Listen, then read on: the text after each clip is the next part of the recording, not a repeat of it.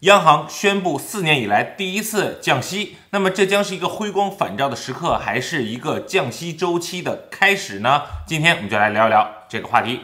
今天早上加拿大降息的这个新闻呢，相信已经刷爆了大家的朋友圈了。那么很多官媒、自媒体都在讨论哈，降息代表着什么，然后有什么好处、坏处。在这里呢，我们就不去讲这些没有什么实际意义的话题了，我们更多的是着眼一下。到底未来是怎么样的走势？那今天呢，我提供一些权威机构提出的数据，然后呢，也给出一些我自己的观点啊。那么，如果大家有什么问题的话，欢迎大家文明的在咱们的评论区啊，给出你自己的观点。BCREA，也就是 BC 省地产协会呢，今天也是一早呢就发出了一个报告，我把其中的一些比较呃难懂的一些。话题呢，把它抛开，我们就光说它的结论。他认为，在未来的十八个月里面，每一次议息都会有所下降。那么我们知道，今天早上在宣布降息之前是百分之五，宣布宣布降息了之后呢是四点七五。那他认为，在过未来的十八个月之内，大概最后的利息会降到百分之二点七五。啊，这个数字大家听上去是不是感觉很耳熟？没错，在上个礼拜我说。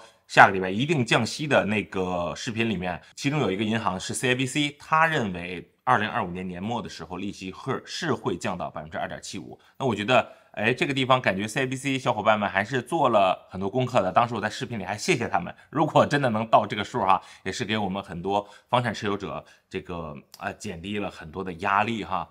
呃，其实 B C R E A 呢，他认为最后的这个呃利率呢是一个 range，是一个范围，是二点二五到三点二五。那要看最后的经济形势怎么样。如果呃非常差的话呢，那它有可能会降得更低啊。如果好一些的话呢，就可能会稍微高一点。那它呢也是取了一个中间值，二点二五加三点二五，呃，然后呢除以二乘以除以二。就是二点七五了啊！有的时候经济学感觉也很简单嘛，是不是？好，接下来呢聊聊我自己的观点啊。我认为二零二四年后半年以及二零二五年呢一定是会降息的。比如说二零二四年后半年呢还有呃一共就是算上今天一共有五次降息，六月、七月、九月、十月以及十二月。我认为这五次里面呢可能会有一次宣布不降息。也就是说，今年二零二四年呢，大概是一个百分之一。那么央行呢，肯定也是很鸡贼的，它就会时刻的去看你的油价、你的核心物价指数是不是能达到一个标准。只要能看到整个的这个 inflation，就是就是通货膨胀啊，趋趋向于利好的状态，那我觉得央行绝对是乐于去降息的。关于二零二五年呢，我真的是没有办法给出一个非常高瞻远瞩的，毕竟我也不是经济学家，就算是经济学家，他也不敢打保票嘛。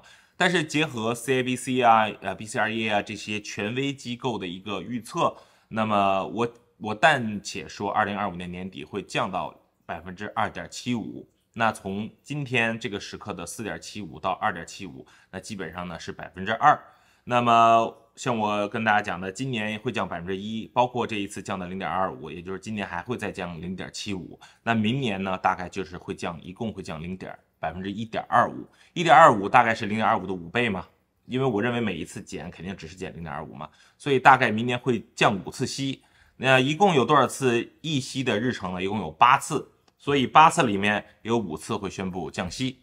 呃，当然了，这只是我个人的观点哈，相信很多小伙伴也会认为房价会跌，甚至利息会反弹，物价会反弹，世界会末日哈。但是啊，欢迎大家还是那句话，文明的在留呃评论区啊。留言好了，感谢大家收看了，我呢也要赶紧去呃有一个新盘在兰里要上，然后我们之后再聊天。好了，感谢大家收看了，我们下期节目见了，拜拜。